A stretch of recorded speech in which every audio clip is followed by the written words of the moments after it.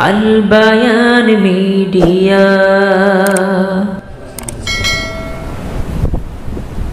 আসলে আজকের মজলিস একটি ব্যতিক্রম সাধারণ যে সমস্ত মাছ মাহফিল হয় ওই সমস্ত এই ধরনের মজলিসের মধ্যে শিক্ষণীয় বিষয় বেশি থাকে। এবং উদ্দেশ্যই হয় শিক্ষণীয় কিছু জিনিস বলা এবং শোনা এবং শেখা। যেমন আজকে আমরা অনেকগুলো জিনিস শিখলাম। কিছু বর্জনীয় কাজ, কিছু করণীয় কাজ। ঠিক অনুরূপ মাগরিবের পরে কিছু দোয়া শিখে হুজুর যে দোয়াগুলো অনেক অনেক ফজিলত বর্ণনা করা হয়েছে। এই সবগুলো বিষয়ে সাধারণত জুমার ওয়াজে বা মাঠের ওয়াজে আমরা শুনতে পারি না, শিখতে পারি না। এই জন্য গুরুত্বপূর্ণ আমলগুলো শোনার জন্য, শেখার জন্য বিভিন্ন এলাকায় প্রতি মাসে একবার ইসলাহী জলসা, আত্মশুদ্ধিমূলক জলসা, আত্মশুদ্ধিমূলক প্রোগ্রাম অনুষ্ঠিত হয়। আমরাও চাচ্ছিলাম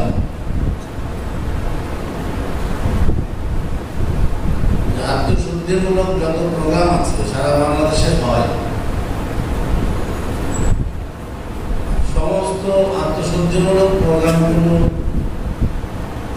যে সমস্ত বুজুর্গান দিনে লক্ষ্য করে রেখা হয় যে সমস্ত বুজুর্গান দিনে এই সমস্ত আত্মশক্তিমূলক প্রোগ্রামগুলো চালান যাদেরকে মেহমান হিসেবে দাওয়াত দেওয়া হয় তাদের মধ্যে অন্যতম একজন বুজুর্গ আল্লাহ তালা আমাদের এই এলাকায় দান করছে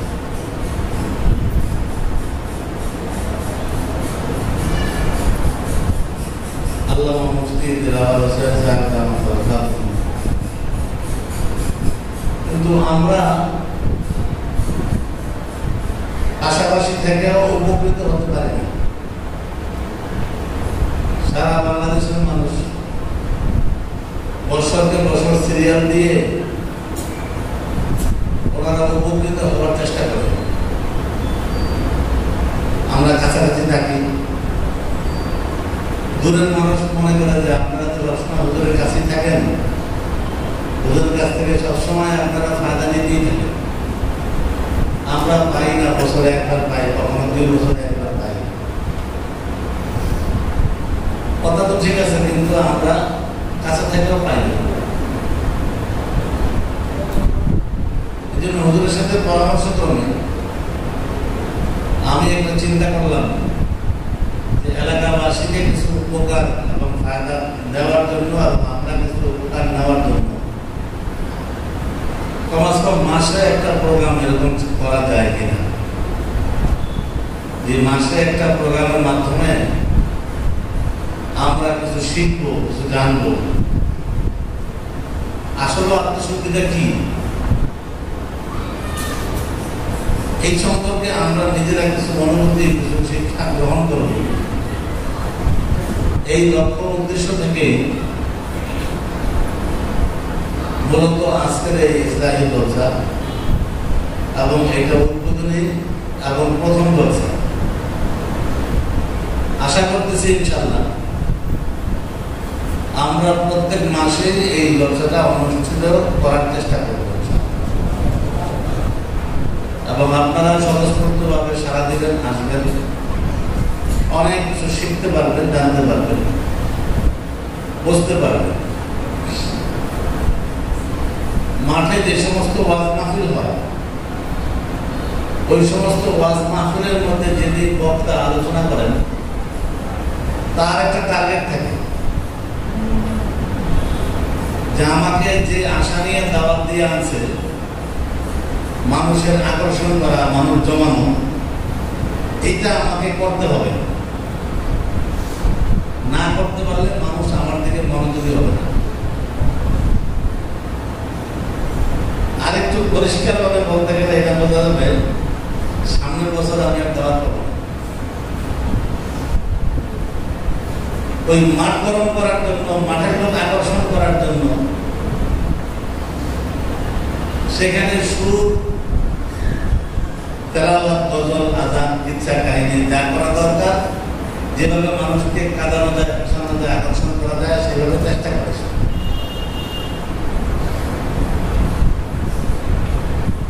এই কারণে মাঠের ওয়াজগুলোর মধ্যে সাধারণত এই ধরনের ওয়াজ হয় না।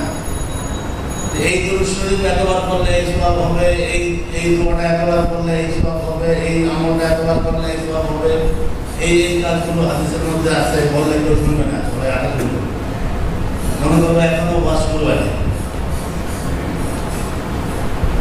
আমি একবার ব্রাহ্মণবাড়িয়া গেছি ওয়াজ করতে।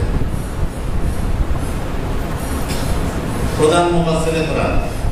সাত দিন ব্যাপী তাফসীর কোরআন মাহফিল সাত দিনের একদিন আমার নাম আছে আধা ঘণ্টা ওয়াজ করছি তাফসীর করতেছি আধা ঘণ্টা তাফসীর করার পরে শুনতেছি মাসে বসে করার হুজুরটা আমার শুরু করে নাই কখন শুরু করে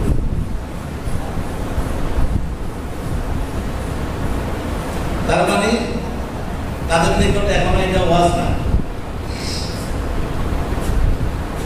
তো যাই হোক এই কারণে বাস্তব কথা হলো এই সমস্ত মজলিসে যে ধরনের আলোচনা হয় ওগুলো সেখানে করা সম্ভব হয়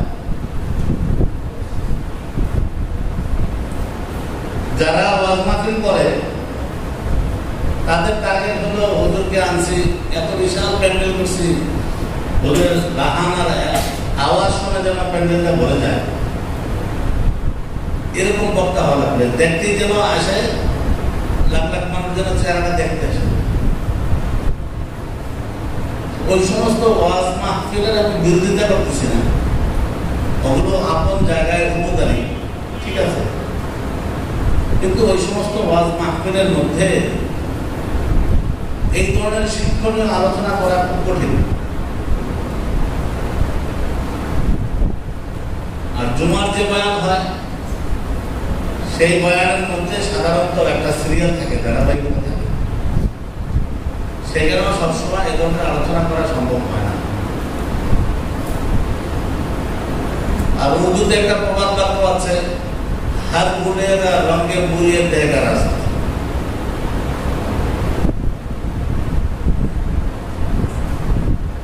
ফার্সিতে ব্যবহার করা হয়, হাত গুণেরা রঙে দেখা রাস্তা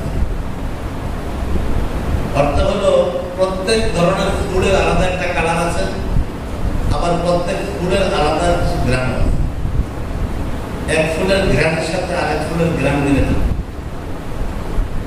এক ফুলের রঙের সাথে আরেক ফুলের রং মিলে। না জুমায়তের খতিব সাহেব একজন উনি প্রতি জুমায় আলোচনা করেন। কিন্তু আরও যে শত শত লোক রয়ে গেছে, যাদের আলোচনা, যাদের এলেন, যাদের আমল, এবং যাদের অভিজ্ঞতা থেকে উপকৃত হওয়ার মতো তাদেরকে তো আমরা জুমার মেম্বারে পাচ্ছি না। এই জন্য এই সমস্ত মধ্যেশের মধ্যে প্রত্যেক মাসে যদি নতুন নতুন দুজন তিনজন দেশের বিশিষ্ট বুজুর্গ এসে আলোচনা করেন, তাদের থেকে আমরা উপকৃত হতে পারব।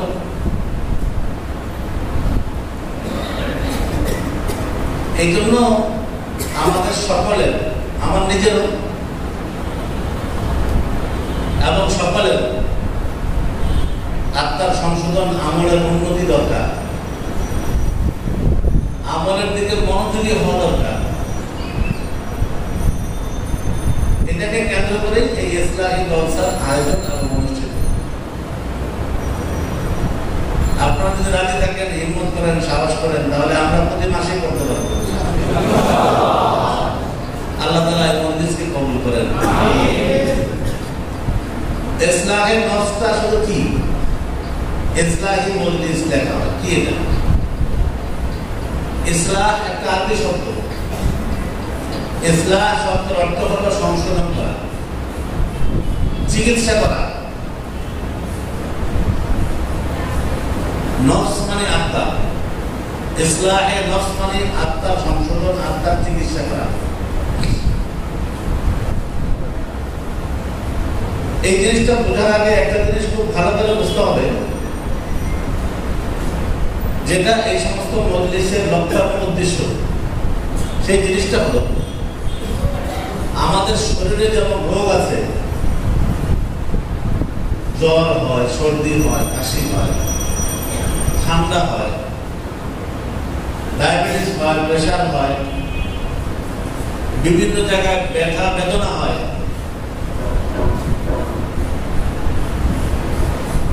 এই সমস্ত রোগগুলো শরীরের মধ্যে হয়। এবং রোগ হওয়ার সাথে সাথে সেই রোগগুলোর চিকিৎসা করতে হয়। চিকিৎসা না করলে মানুষ কষ্ট পায় ধুকে ধুকে একসময় মারা যায়।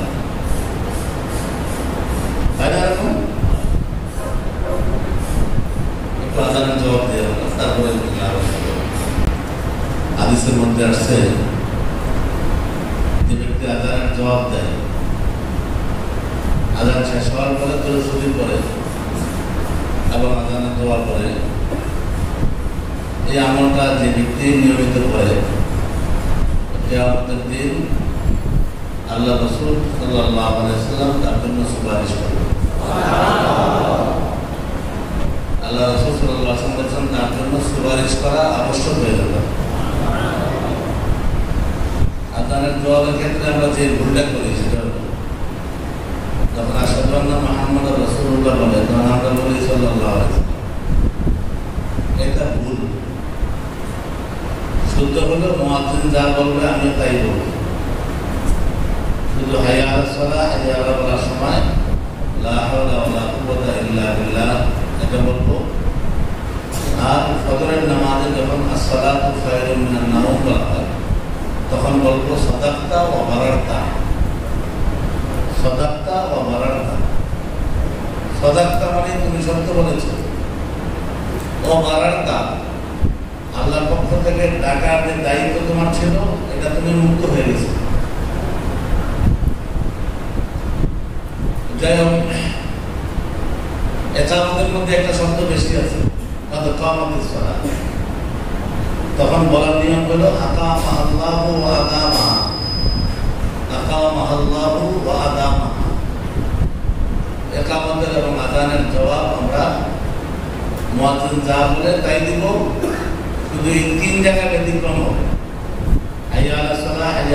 বলার সময় লা হাওলা কুওয়াতা khairun minan বলার সময় সাদাক্তা বা বারাক্তা। আর কদ